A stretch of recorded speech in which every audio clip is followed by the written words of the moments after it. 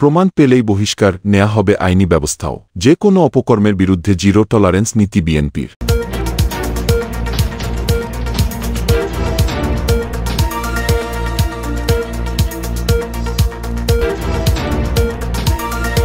স্বৈরাচারী আওয়ামী লীগ সরকারের পতনের পর রাষ্ট্রের রাজনৈতিক এই ক্রান্তিকালে নৈরাজ্য ও সহিংসতা শুরু হয় সারা দেশে। আর এই সময়ে শান্তি শৃঙ্খলা বজায় রাখতে যে কোনো মূল্যে দেশে সম্প্রীতি রক্ষা, লুটপাট চাঁদাবাজি ও দখলদারিত্ব বন্ধে কঠোর অবস্থান গ্রহণ করেছে বলে বিএনপি দলীয় সূত্রে এসব তথ্য জানা যায়। এরই মধ্যে বিভিন্ন অপকর্মের সঙ্গে জড়িত থাকার অভিযোগে সারা দেশে বিএনপি ও সহযোগী সংগঠনের দুই শতাধিক নেতাকর্মীকে বহিষ্কার বা পদ স্থগিত করেছে দলটি। এছাড়াও শোকজ করা হয়েছে অনেককেই। আর এই তালিকায় রয়েছেন গুরুত্বপূর্ণ কেন্দ্রীয় নেতারাও, যার ফলে অনেক উন্নতি হয়েছে বলে দাবি দলটির রাজনৈতিক ভাবমূর্তি। তবে এ বিষয়ে দলের উচ্চ পর্যায়ে শতভাগ আন্তরিকতা ও কঠোর নীতি গ্রহণ সত্ত্বেও নেতিবাচক কর্মকাণ্ড পুরোপুরি বন্ধ হয়নি কিছু সংখ্যক নেতাকর্মীর। এ কারণে দলের ভেতরে উচ্ছৃঙ্খল নেতাকর্মীর বিরুদ্ধে সাংগঠনিক ব্যবস্থাসহ আইনি পদক্ষেপও নিতে শুরু করেছে দলটি। ইতোমধ্যে সারা দেশে বিভিন্ন থানায় অন্তত দশটি এজাহার দায়ের করা হয়েছে। এদিকে বিভিন্ন কারখানা শিল্প প্রতিষ্ঠানে নাশকতাকারীদের বিরুদ্ধে মাঠে রয়েছে জাতীয়তাবাদী শ্রমিক দল।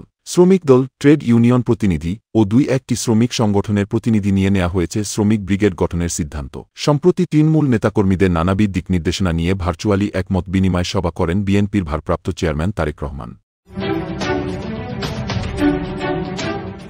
চেতনা টিভি।